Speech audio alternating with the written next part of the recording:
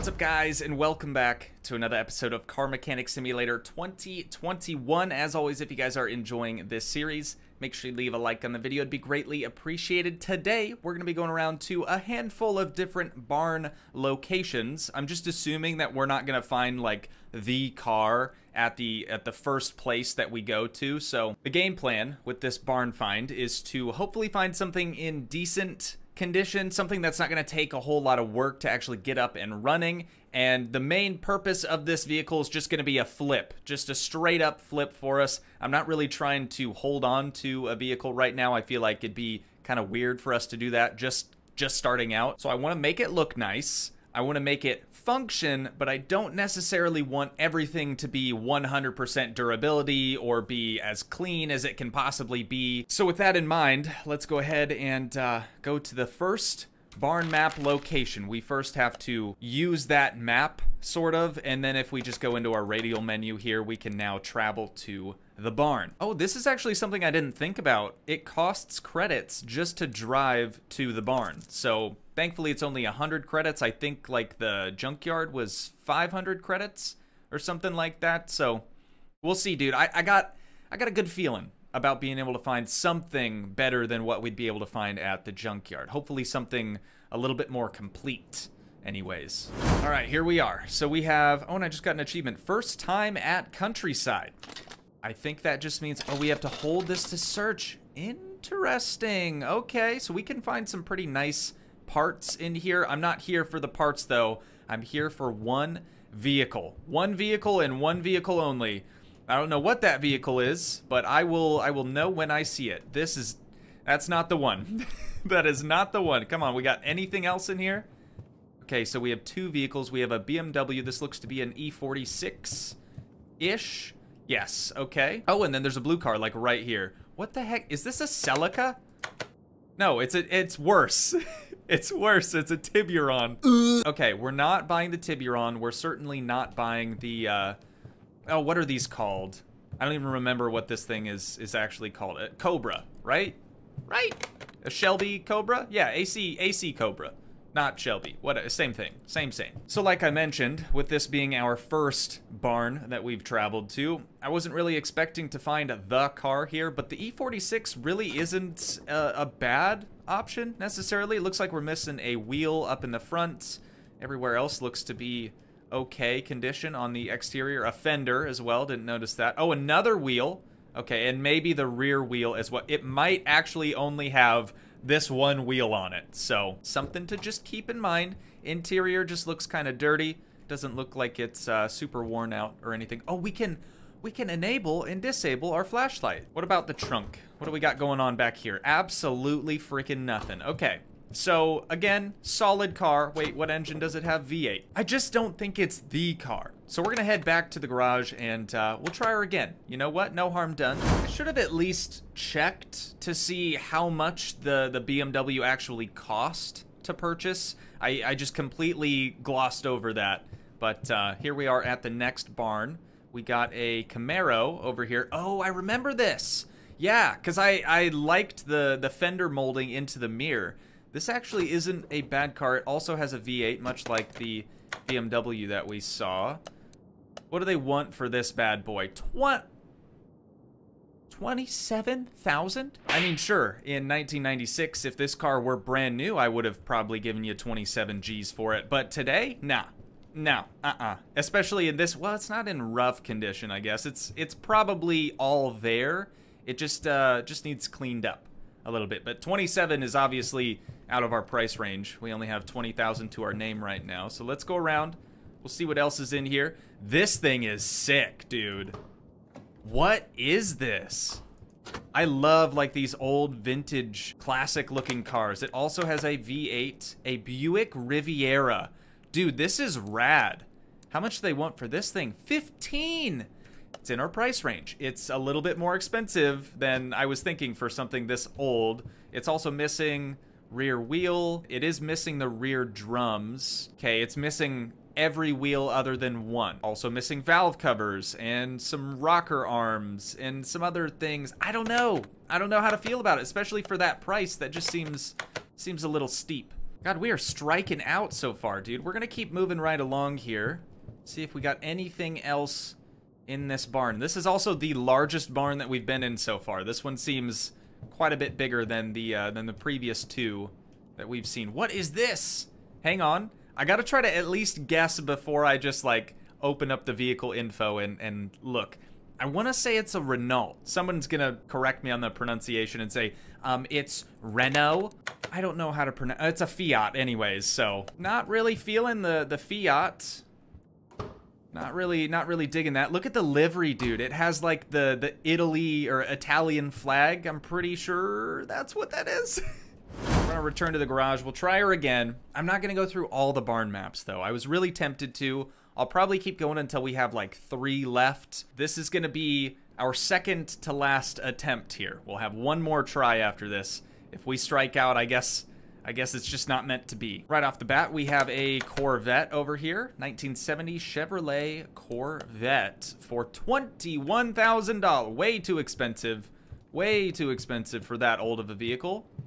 And then we have another... We literally just saw this and I already... It's a Fiat. I was going to say, we literally just saw it and I, and I already can't remember what it's called. Oh, and then we have a Trans Am, potentially? Yes, dude. What do they want for this bad boy? $27,000. Dude. Okay, I need to find some cheap, cheap cars. Let's see, let's see the, the Fiat. The Fiat, honestly, better shape than the last one was in.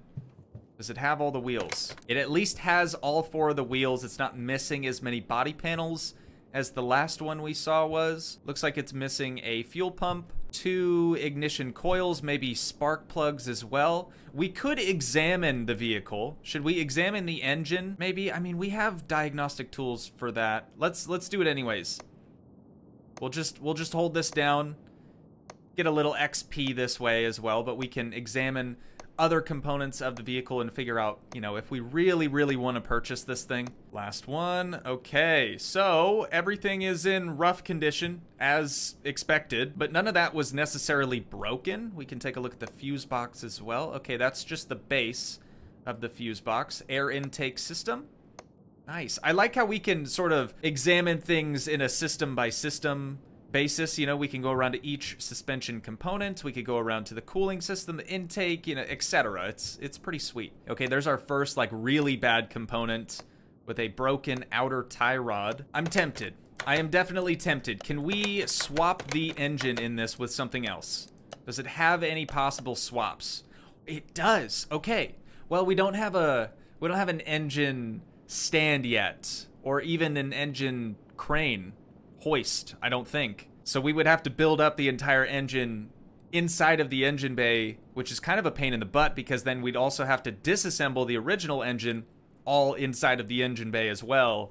So maybe, yeah, maybe swaps don't really even matter. What does it have? An AQC inline four dual overhead cam only makes 130 horse well okay we're gonna try we're gonna try the last one we're gonna try the last one dude all right we're gonna use the fourth barn map so that's going to leave us with three. So we pretty much have to buy something. Or we have to find something at the very least. Otherwise, we're probably just going to be doing another story order for this episode, which I I don't want to do. We're already 20 minutes into a recording and we haven't really done anything yet. So I'm trying, you guys. I'm trying. I'm just maybe I'm being a little bit too choosy, right? Oh god. And this is this is the one barn where there's one car, I bet. What is this thing?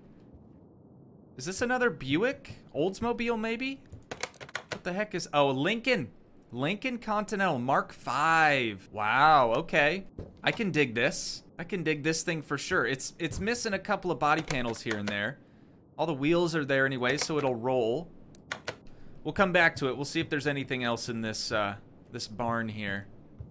Ooh, ooh, I love it. I love it. Wait, what is this? Is this a Tesla? It is Tesla Roadster for $32,000 or credits. Yeah, sorry, I'm gonna pass on that one. But what about this thing? I always want to call this a Picador now, just because of Grand Theft Auto. That's what their like lore-friendly um, El Camino, like this car is. But in this game, it's called something completely different, based off a 1969 El Camino for 21,000 credits, dude. I knew it was going to be just a little bit too overpriced for us, and I don't think examining anything actually brings the price down. I wish that were the case. How much did they want for the Continental, dude? 15.7 for the Buick. That would leave us with $5,000 left over, and we have to get it running if we want this flip to be, you know, successful, to be worth it, even in the slightest bit. So uh, we're going to be needing a fender. Oh, God. Two fenders. Needs a bath. Probably going to have to be painted. Looks like it's missing the steering wheel, which is interesting. Yeah, dude, we have to. We, ha I mean, this is the last barn. It's the cheapest vehicle here. It's it's the only option, unfortunately. 1979 Lincoln Continental. We're gonna go ahead and buy it for 15.7. There it is, and we're gonna bring it right to the garage, dude, so we can get to work on her straight away. Oh, and we got another achievement, Hidden Treasure, just from uh, from purchasing our first barn find, I guess. Dude, this thing's honestly kind of sick. And I really, actually, I kind of like it. This was like, it was supposed to be a more luxury vehicle back in the day, right? So it's it's just big and boaty and I don't know, something about it. Some, especially the fact that it's a coupe, like you can't beat that. Well, you could, but that'd be weird. So before we do any actual work to this, I'm to send it to the car wash and we're to get this thing cleaned off once and for all so we can see what's been hiding underneath the years of dust from uh, from being left in the barn. Dude, that's actually not that bad. The paint's a little rough. Like, uh, it's got some some nasty orange peel kind of kind of stuff going on to it, but it's it's all there. You know, I no complaints, no complaints. Let's clean the inside.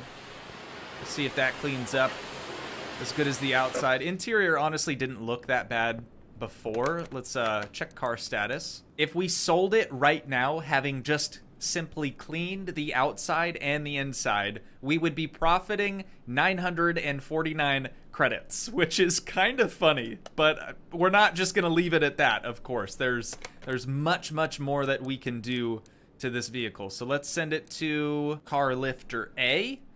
We'll get this thing put up in the air, dude. So I realize we need a couple of body panels. I'm just first going to pop the hood. Ooh. Just so we can inspect what all is wrong with this car? Dude, everything. Everything is wrong with this thing. Are you joking? It didn't look this bad. I swear, it did not look this bad in the barn. Now that we've got it back home, it's a little uh it's a little different. A little different looking for sure. We also can't repair parts just yet. Let's see if we can at least unlock that that functionality. So we would have to expand the garage first, which is 10,000 credits. And then we could get a workbench, a brake lathe, a body repair station, engine tools, all that stuff. Kind of rough, man. Kind of rough. Uh, part of me thinks maybe we weren't ready quite yet for our first barn find, but it's cool, dude. We're just gonna we're gonna try to get this thing operating at the very least. That's all that's all I really want to see here. So we're just gonna go around quickly and start marking everything that we notice needs replaced or just purchased in general. And it is quite a lot. it's quite a lot. Not even going to sugarcoat it. We got two spark plugs over here, valve cover. It's missing the power steering reservoir, the fuse box cover. It doesn't even have a battery, dude. Are you joking? Why did we buy this? Seriously, why did we buy this? Who let me buy this? And why is every single barn find missing the fuel pump? Like that just seems seems like a common thing for some reason. Okay, I think I've marked just about all the engine related things, engine transmission, suspension, all that type of stuff. So I want to do the exterior stuff next. We're going to go to assembly mode and I'm going to mark this fender and this fender and I think that's all it's missing right? It's got all the windows and everything else. Oh, tail lights. Okay, didn't realize it was missing a tail light. Now we're gonna hop into the Bodywork store and actually purchase those few body panels really quick. 150. Oh, thank God, dude. These fenders are cheap as all get out. So two fenders is only 300 bucks. A tail light's surprisingly expensive at uh, at 100 credits. We got a 5% discount though for 95. There we go. So that is all the body stuff now purchased. All I want to do is throw these new body panels on. And then I just want to see how much the price actually goes up having a completed body. Dude, look at that. That is insane. 2,000 credits worth of profit here. So we bought it for 15.7. We'd be able to sell it for 17.8 at the moment. That is freaking just, that's stellar. Okay, so we have the welder as well. I don't know if it's really going to do anything to the vehicle, but I, would kind of like to use it anyways. 1,100 credits? Yep. Gotta do it. You know what? We gotta do it. Yeah, I don't think that really did a lick of anything. Let's see in the car status. Okay, 3,200 now. That's actually way better. So the body value has increased. I've got you. Condition bonus. Since we only have $3,200 left, I'm going to quickly move this vehicle to the paint shop so we can get uh, maybe a new color even on this thing. I, I, I wouldn't mind a new color. The red's not bad. We'll see what uh, what factory supposed to be. Okay, factory is this sort of maroon color. I'm having a really hard time telling if the hood is just really this crappy. Like, look at how wavy and ripply it is, dude. And you can kind of tell here between the door and the rear quarter panel, the colors really aren't matching up very well. So that kind of leads me to believe maybe the door is also not 100%. And then the trunk, we got some surface scratching going on. I don't know, dude kind of tempted to disassemble the entire body and see what needs replaced. Maybe let's do that before we paint. Painting only costs a thousand credits. I say only, that's quite a quite a lot of money. let's see what condition this hood's actually in. Oh, 60%. That's not near as bad as what it looks like. All right, I've gotten everything torn off the vehicle now. I think the worst part about this vehicle is actually just the hood. And it's it's not really worth replacing, in my opinion. 60% is is still still pretty good. I'm gonna go into the store really fast. I wanna try to find the steering wheel for this vehicle. I don't actually know how we would figure out what it had before. I guess we could probably look at uh, like the grayed out image from the steering wheel. Okay, yeah, that actually does help just a little bit, not a ton. It's either the steering wheel cape right here or this one, the steering wheel 15. I think it's 15. I remember seeing like a triple spoke in the center. So let's buy that, 142 credits. Not really that bad. Okay, sweet. So we got a brand new steering wheel. I'm gonna leave the interior as it is. It, it doesn't look like it's in that bad of condition. We'll check the car status now. Okay, profit 3,400 credits. Not terrible. Now I think we should probably start going through and just purchasing all these other parts that uh, were otherwise missing from the vehicle.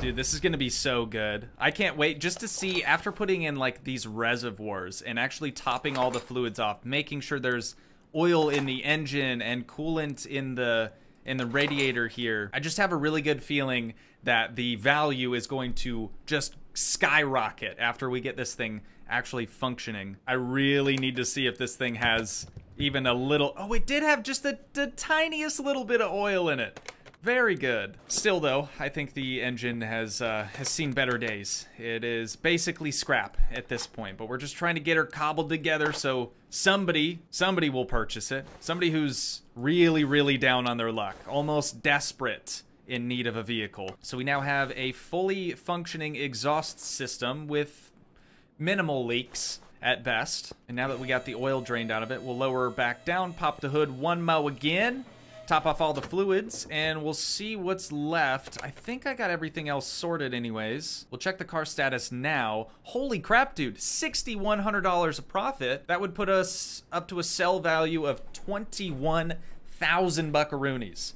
So we started off this episode with 20,000-ish credits, we'd be making roughly 2,000 credits on this flip, which is not much, but it is something. As long as we're in the green, dude, that's that's all I care about. Speaking of green, look at all this. All this new stuff. Okay, I think that is the fluids now complete. I definitely wouldn't call this a restoration because I'm not really even sure if the vehicle runs yet. But let's take one good look at the car status now. Just from doing the fluids, I think it did go up maybe $100 or so. The sell value is now at 22,000, so that's nice to see. But there are just so many other parts that we don't necessarily know anything about. We haven't examined them very closely, and I'm kind of under the impression that the more we know about the vehicle, the higher the value will be. So I'm just going to go through every single diagnostic tool that we have and uh, just try to go through everything that we can. That way, the value might increase. You, you never know. Jesus Christ. Okay, I've kind of decided that if it's red, I need to replace it. So we have two more rocker arms underneath both of the brand new valve covers we already put on. So I got to pop one of those off, figure out where those two rocker arms are. Actually, it could be one over here and one over here. That'd be just my luck. But I do want to replace those. What we just finished was the compression tester. The last one we have to go through is the OBD2 scanner. And since this car is OBD1, we can't use an OBD2 scanner. So we have vintage tire wall A, rocker arm, and other rocker arm. Those all definitely need replaced. And we haven't even begun to test the suspension or anything related to that yet. So kind of nervous. We only have $1,200 currently. So it does look like both of those rocker arms, though, are just underneath one valve cover. So that's going to save us just a little bit of time. There we go. Got those two nasty boys popped on out of there. And then the rear tire back here is in pretty rough shape, if I do say so myself. Tires are so expensive though, dude. This is gonna be very, very costly and probably not worth it in the in the long run. Let's get these two parts separated so we can see what size we actually need for this tire. I do love the the white wall though. That looks pretty rad, especially on this this older car. It just, it's very fitting. Okay, 225, 75, 15. Tire wall A. 225, 75. There we go.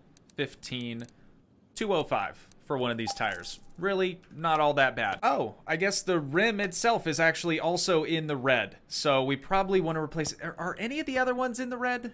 I don't think so. These are probably getting close, but I but I doubt it. So we got to check out the rim now as well. It's a Zephyr, Zephyr 15 offset of zero. There we go, 15 offset of zero, just one of those. is gonna be 76 credits, not that bad, not that bad. And now we have a brand new wheel and a brand new tire. That should definitely improve the overall value of the vehicle. I'm I'm sure of it. To be real with you guys though, I, I definitely think we need quite a bit more uh, tools or uh, equipment, I guess you could say, if we're to do or even attempt another barn find or definitely if we're to attempt a, uh, a junkyard car or anything of the sort. But there we go. We have that put on the vehicle. Oh, and then we needed the other two rocker arms. That's right. There we go. Got both of those. Valve cover is back on. The two rocker arms are now in. Let's check the car status. Just make sure we're not missing anything that uh, is pretty shot. I think we're good. I think that's all the red stuff that we've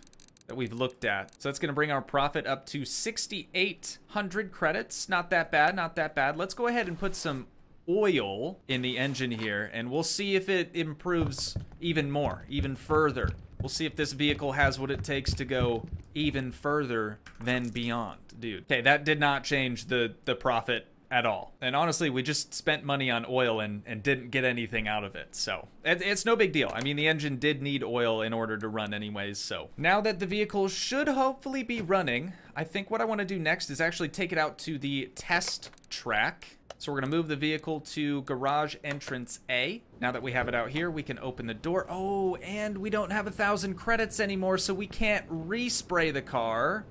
I don't think that would have helped out the overall value as much as you would probably assume it would. But let's at least take this bad boy to engine can't be started. Why? Why?